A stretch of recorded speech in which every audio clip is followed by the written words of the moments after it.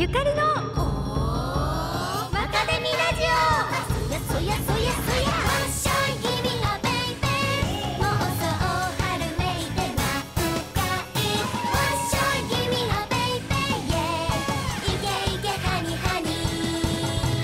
皆さんマカデミはマカデミワッショイ長谷川鈴穂役の宮崎おいです。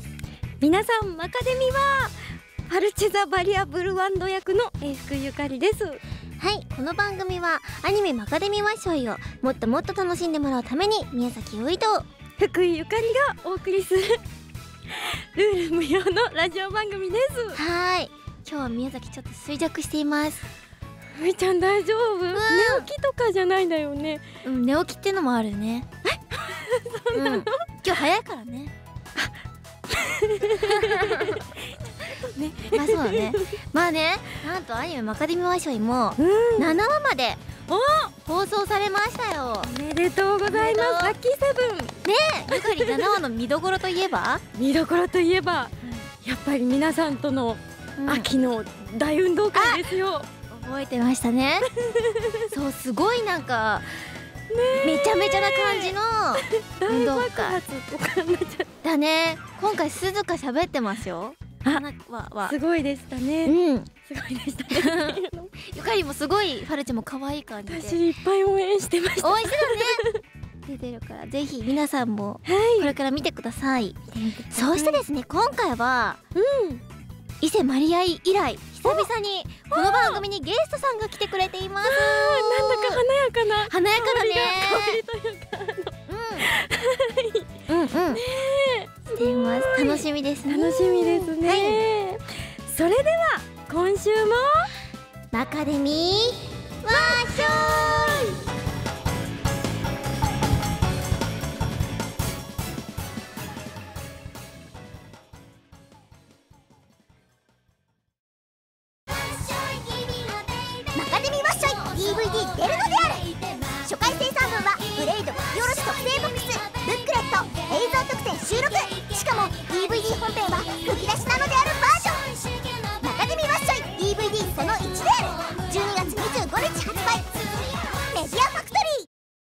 あなたに伝えてきた気持ちをもう一度伝えたい。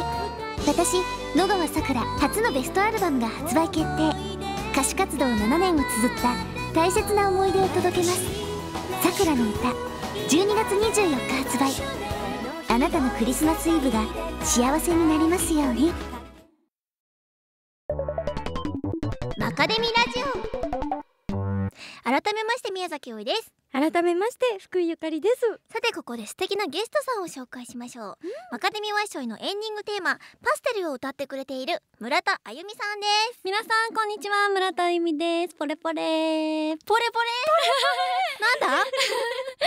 ポ ポレポレって挨拶なの？そうなんです。ポレポレっていうあのアルバムを出してからいつもポレポレって言うと最近帰ってくるようになりましてブログとかでも帰ってくるようになりましてタイトルトルとかもポレポレブログすごいなんかうんスワヒリ語なんですけどあ最スワヒリ意味があるんだ。初はねなかったんですよ。うん。最初はなかったっていうかはい。あのなんか語感っていうんですか？なんかお菓子の名前にありそうじゃないですか。それでなんかすごい五感で例えばとか言って言ってて、ポレポレって言ったら、うん。すぐスタッフさんが調べてそしたらスワヒリ語にうん。あったんですよ、へえびっくりして。そんで意味がですね、うん。ゆったりゆったりととかゆっくりゆっくりっていう意味でなんかのんびりした感じの。象徴したよそうね。え本当ですか、うん。ありがとうございます。なんでスワヒリ語なんですかとかそこ突っ込まないいのかな？スワその五感で決めて、うん。たまたまスワヒリ語だってあったので、そのまま決めちゃっただけの話で。そうなんです何から導かれたんでしょうねでも今日はワッショイって言わなきゃダメですね。あポレポレワッショイ。ポレポレワッショイ。くっつけちゃった。はつけちゃいましたというわけでい。あゆみちゃんとはですね。ねはい。ゆかりんはなんか認識ある？認識？あ、じゃじゃ面識ある？面識ある？実はうん。あのデビュー当時うん。実はあゆみちゃんと何度か。あ、そうなんですか。そうグラビアをやらせていただいてそうだよね。た時と間にねあのとあるはい。雑誌の制服グランプリの、そう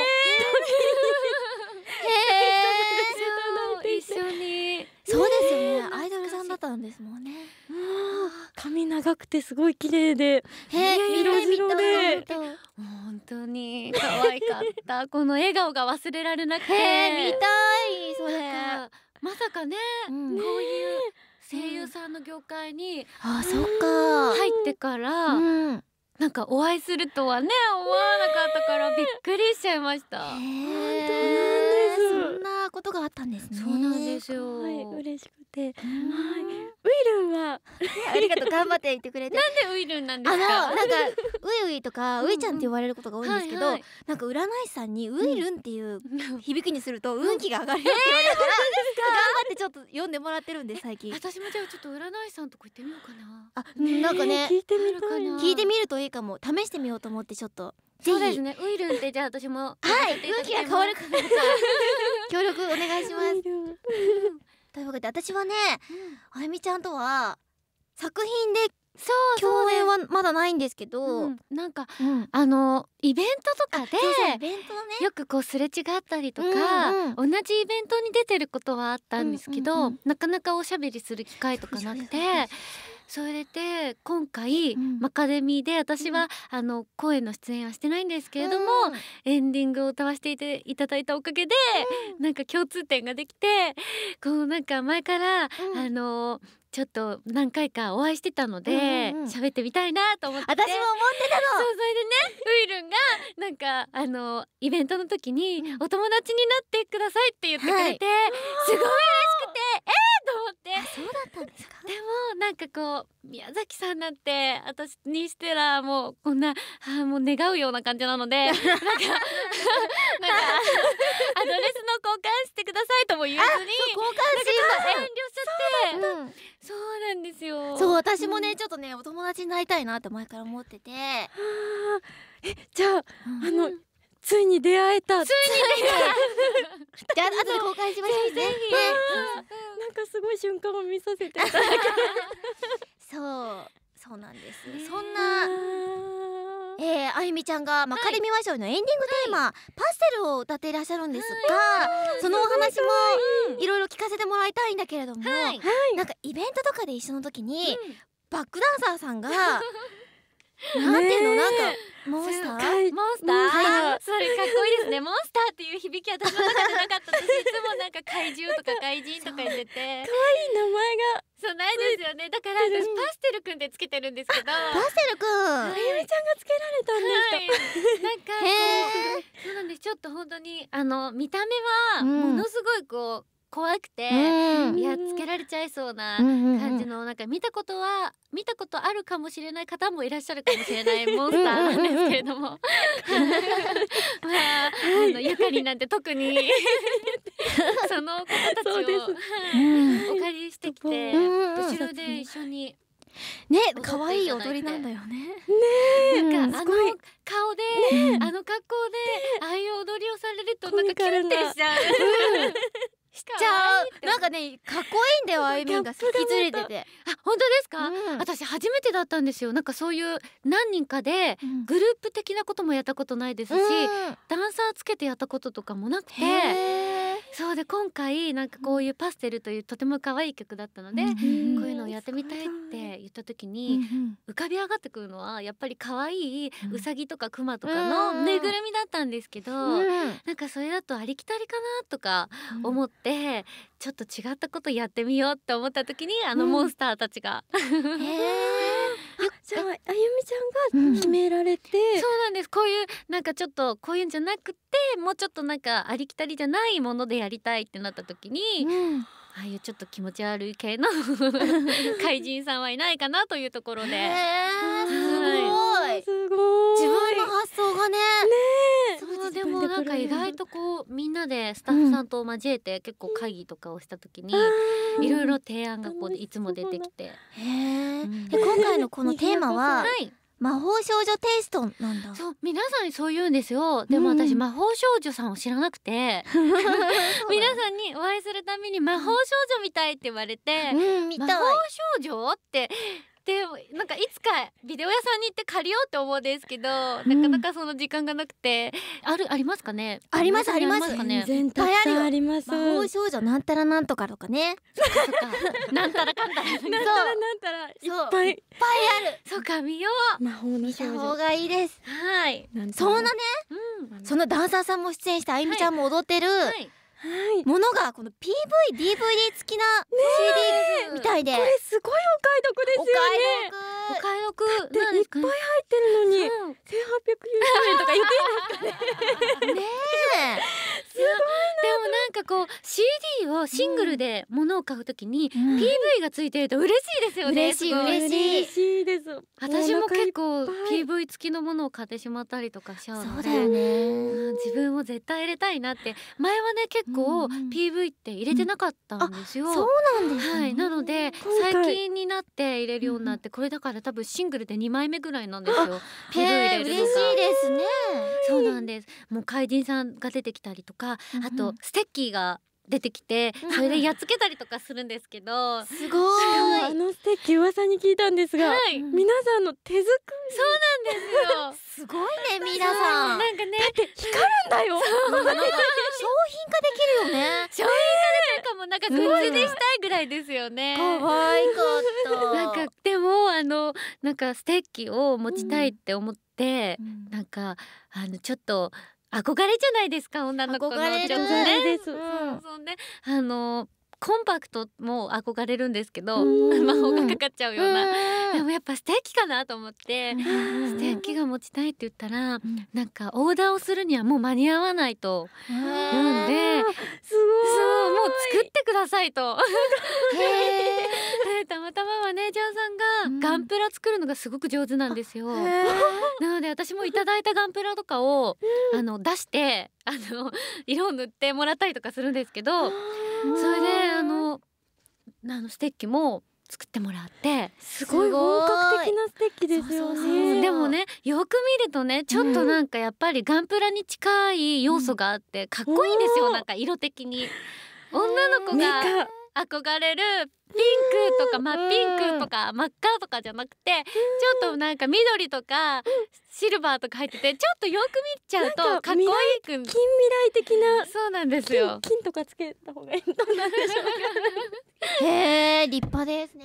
うねえあそうななんかすごい。怪人さんの追いかけっことかいろいろ入ってるちょっとコミカルチックな PV が入ってます。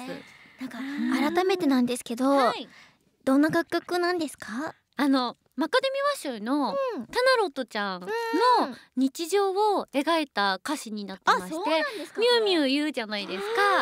なので、あのミュウミュウミュージックとか。そういうことだったんだ。ななんか歌い的にはミュンミュンっていう運を入れちゃってるんですけれども、なんかそうういう言葉が入ってたりとか、なんかすごいこう可愛らしいなんかぴょんぴょん跳ねた感じの可愛い歌になってて、うん。タナロットちゃんの日常を描かれてますよ。とっても。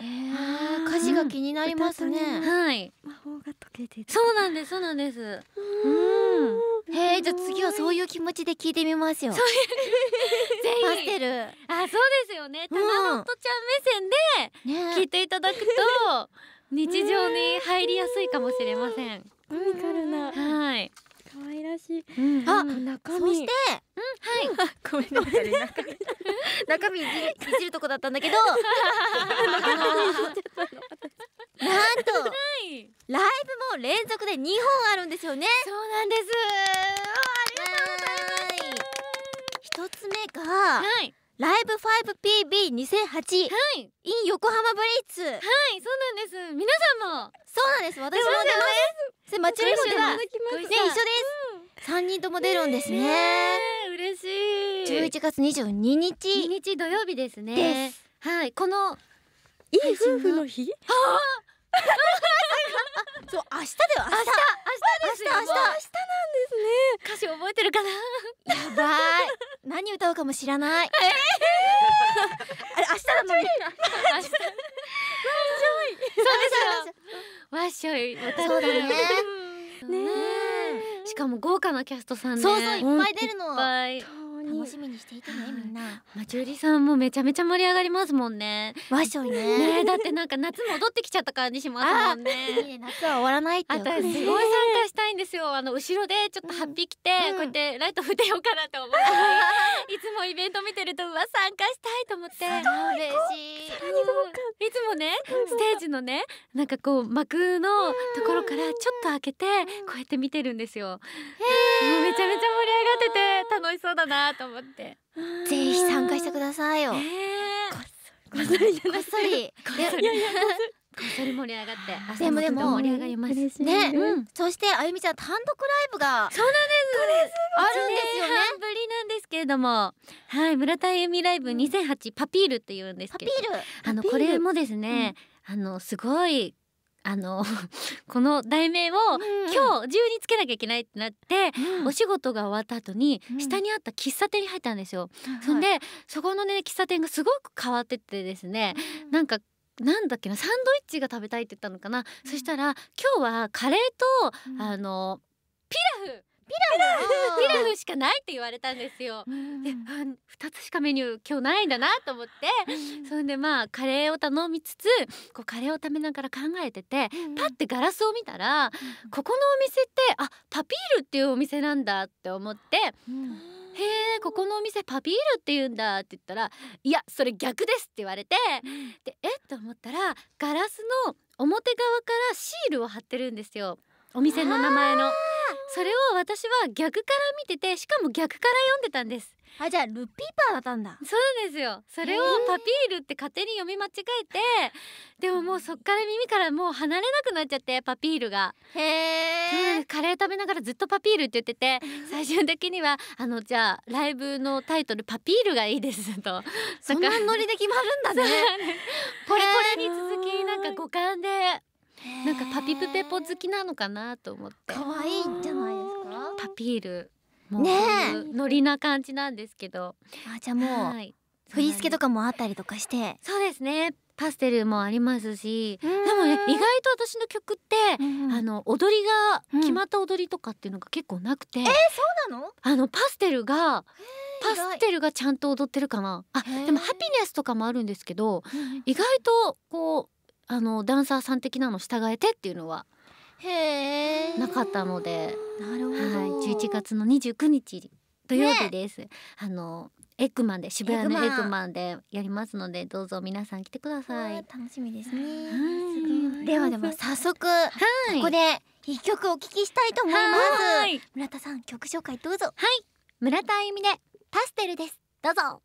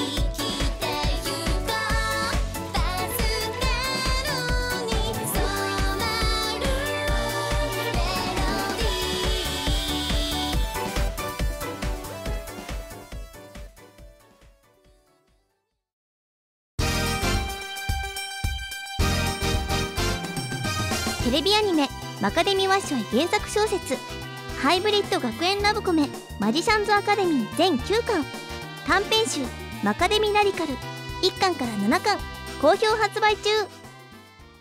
ファミ通文庫。2008年お祭りソング決定版。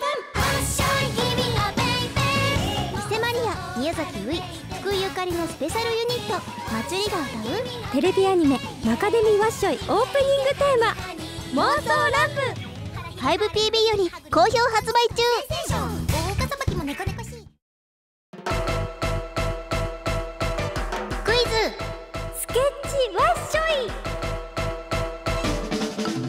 はい鈴穂は普段スケッチブックを使って他人とコミュニケーションをしています。ということでこのコーナーでは私たちがスケッチブックを使ってクイズに答えていきます。毎回どちらかに簡単なクイズを出します。そのクイズを出された方はそれを絵や文字を使って30秒間でえスケッチブックに表します。ただし問題文に使われている言葉と正解の言葉は書いてはいけません。回答者はそのスケッチブックの内容だけを見て答えが何なのかを当てます。今回は村田あゆみちゃんにも、はい。参加してもらってはい。2人でスケッチブックを書いていきたいと思います。この噂のコーナー楽しみにしていました。楽しみにしてましたか では早速最初は私が答えてお二人じゃあゆかりが目隠ししてもらって私は書く。そうそうそう。じゃ私とあゆみちゃんが書きます、はい。二人が同じ絵っていうことは限らないですよね。あそうなんですか？えういちゃんが結構すごい突拍子もないところから絵が来る。かとここでリスナーの皆さんにだけこっそり問題を教えちゃいます。ペンネーム秘密のパーフェクトワールドさんからいただきました今回の問題は今年2008年の干支は何年でしょうか？すっごいわからない。何だったっけな？でも多分じゃああゆかりじゃあ目隠しを外してください。いいではい。では書きます。えー、なんだろう。何だったっけすごいカキカキっていう音が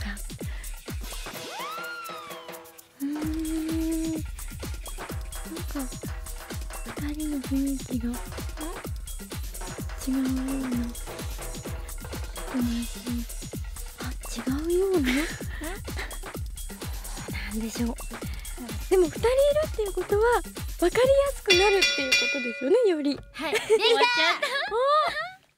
なんどうなるんでしょう。どうなるかな？あでは。じゃあ行きますか。はい。せーの。じゃん。嘘。おえあれそうじゃなかったっけ？え何かわかんない。二つに分かれました。わからない。なんか多分。あのねあゆみちゃんを参考にした方がいいと思うね。これは。えー、いきます。えー、今年の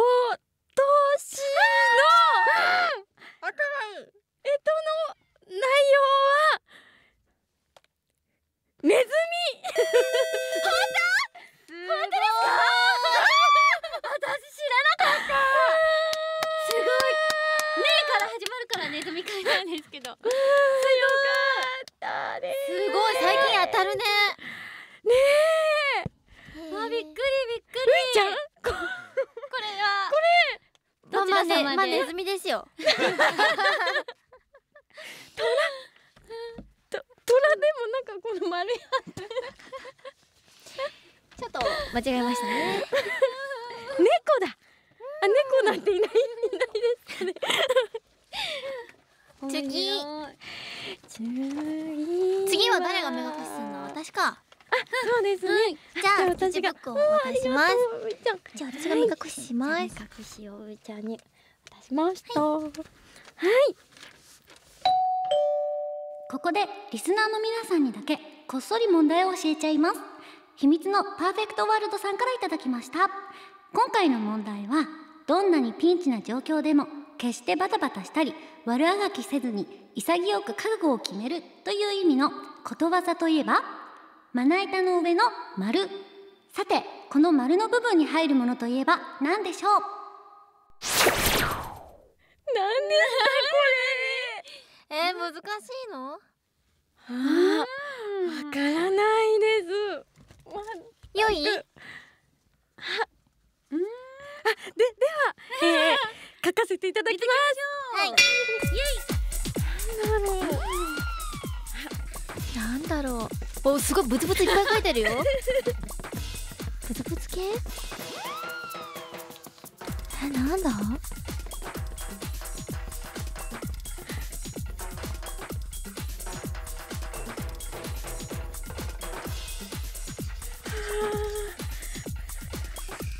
難しいの？難しい。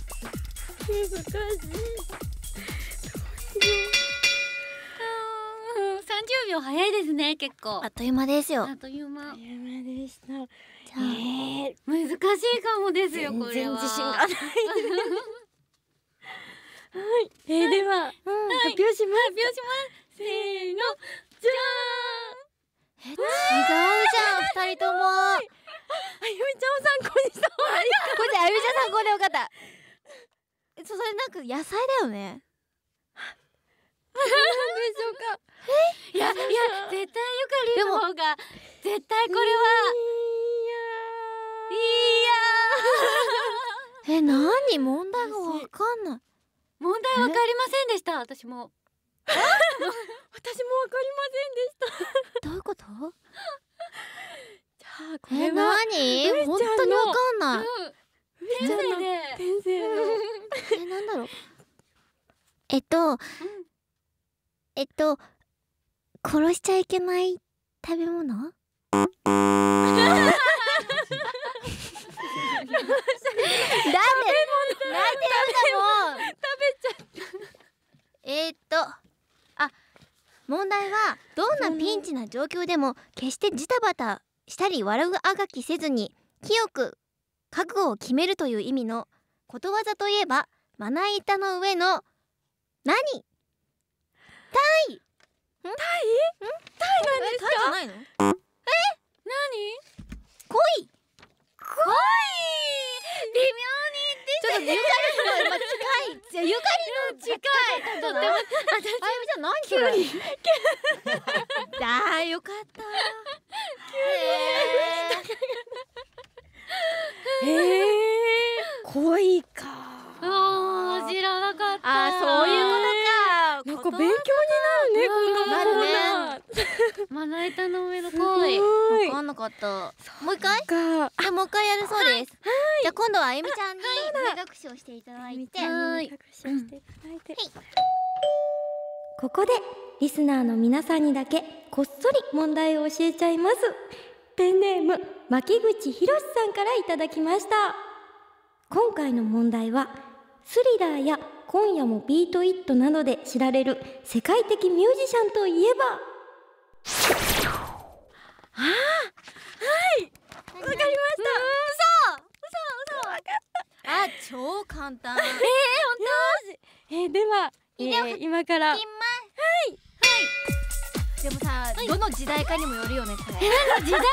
うん。だからどんどんげ激変していく人だよね。あれ難しい時代が関係して激変していく？うーん。なんだろう。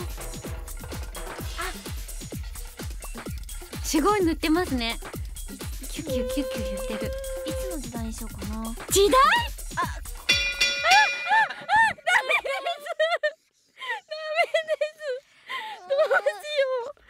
これわかんないかもなこれ絶対わかんないよせーので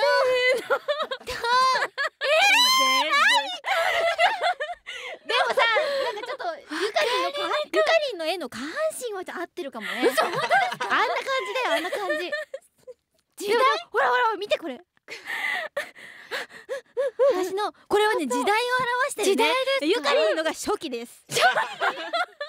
でこれは数年後にこうなりました。何？キャラクターかな？でも私のこの辺見て私の鼻の横のこの穴を見て鼻くそ鼻の横の穴だよ。鼻そう。帽子とかもかぶってるしすごいヒント言っちゃう。けど鼻ピ違うの。もう鼻ピンとか超えてる超えてる。ンほくろ？箱裏とかじゃないんだよ。多分でもこれはねもしかしたら現在はなくなってるかもしれないよ。整形したってことですか？と人？人？人？ほらよく見て見て。こんなになってるの？そうそうこんなになってる。下半身はこんなになってる。下半身上半身がこれだよ。あこういう上半身。これちょっと顔と体ってことよ全然この髪型してる人は志村けんとこの人しかいないよ。豆出す人。違う。よ。違うよ。って。う梅垣さん。梅垣さん。梅垣さん。違いました。関西のおばちゃん？違う。私のこの髪型が。そうさせてしまった。いや私のこの鼻の横の穴もねちょっと女性的だもんね。正解！あーあーそうですね。そう。かな？あーオイルの顔にこの足のこのダンスしてる感じ？そう大好きな人ですよ。マイクとかつけとけばそうだね。なんで私スリラーのあのやつをこの PV を作るときに参考で見たぐらいなんです。パステルの PV を作るときにスリラーを見て、あもう。そっか。マイ難しい。ケル・ジャクソンでした。あーそっか。というわけであらえーこのコーナーでははい。皆さんからの問題を募集しています。以上クイズスケッチワッショイでした。マカデミラジオカデミインフォメーション。ここではアニメマカデミワッショイの関連情報などを紹介していきます。大好評放送中のテレビアニメいよいよ第8話。メイドに幽霊にミカなんですけどの放送です。お見逃しなく。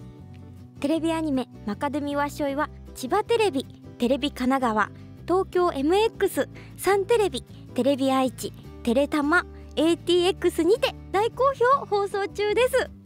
各局の詳しい放送時間は公式サイトで確認してください。まずはイベント情報。5PB 主催のイベントライブ 5PB 開催決定です。開催日は11月22日。会場は横浜ブリッツです。私たち祭りやエンディングテーマを歌う村田あゆみさんほか私も歌うよ。5PB 所属のアーティストが続々登場しますのでまさに歌の祭典。詳細は公式サイトでお知らせしていますので皆さんぜひぜひ遊びに来てくださいね。そして11月24日月曜日 TVK アニメフェスタへマカデミワッショイも出演が決定しました。出演は宮崎ういさん。福井ゆかり、えーそして村田あゆみさんです、えー詳細は公式ホームページにてご確認ください。そしてアニメの挿入歌 CD のお知らせです。マカデミ数え歌シリーズ11月26日発売。メタリス A ネウスハプシエルのエンディングテーマ。そして12月3日発売。栄太郎シュタイン教授アガリアレプトのトリオ曲とマチュリのクリスマスソングの5枚です。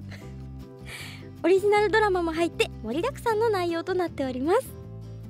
そして忘れちゃいけない DVD マカデミワッショイその1であるは12月25日木曜日発売です。その1には第1話と第2話が収録。DVD 版の本編はむき出しなのであるバージョンで収録ですテレビ放送とは違うむき出しなのであるバージョンをお楽しみに。初回生産特典はブレードさん書き下ろしの3巻収納ボックスと特製8ページブックレット。月刊マカデミと映像特典の3大特典。映像特典には私たちのユニット「まちり」のイベント映像をはじめノンテロップオープニングやキャストインタビュー映像を収録予定です。第1巻予約特典はタナロットの顔の形の合鍵につけるのである。キーカバーです。初回特典は数に限りがあるので確実に手に入れたい方はお近くのお店で早めに予約してください。そしてマカデミワッショイ DVD その1であるの発売を記念してイベントが開催されることが決定しました開催日は12月27日土曜日。会場によってゲストと内容が異なりますのでご注意ください。はい。では順番に発表します。1回目遊びっとシティさん。開演時間は11時30分から。ゲストは伊勢マリア宮崎優衣福井ゆかり。内容はトークライブです。2回目は秋葉原ゲーマーズ本店さん、えー、開演時間は13時30分から。えゲストはこちらも。祭りの3人です。内容はトーク握手会です。そして3回目、えー、コミック虎の穴秋葉原本店さん。開演時間は15時30分から。そしてここではゲストに小清水亜美ちゃん。そして私たち祭り伊勢マリア宮崎福ゆかりの3人も出演します、えー、内容はマカデミラジオ番外編。です。詳しい参加方法は各店舗にお問い合わせください。さらにマカデミワッショイサントラ CD が発売されます。タイトルはマカデミワッショイ究極劇版音楽集。村田あゆみさんの歌うパステルのテレビサイズも収録しております、えー、発売日は DVD 第1巻と同じ12月25日。価格は2枚組で3750円となっております。多数のヒットアニメ劇版を担当する長谷川智樹さんが全楽曲を担当。オープニングエンディングのテレビサイズを加え全曲収録大満足の2枚組です。特典はアニメスタッフの書き下ろしジャケット。初回特典はオリジナルスリーブケース仕様になっています。その他すべての詳しい情報は公式サイト www. マカデミ .tv をご確認ください。以上マカデミーインフォメーションでした。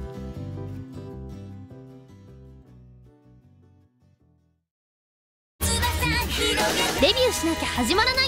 RPE ラムズ声優養成所では2009年4月からの第6期生をただいま募集しています。同時に無料体験レッスンも開催。詳しくは東京0353682519またはホームページをチェック。ラムズ声優養成所 RPE に出るのである。初回戦